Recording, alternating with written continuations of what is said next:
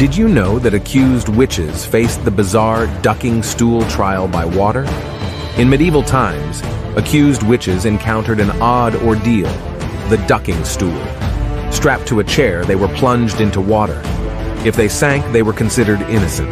If they floated, they were deemed guilty. This macabre method of judgment sheds light on the superstitious fervor and peculiar methods used to ascertain guilt or innocence.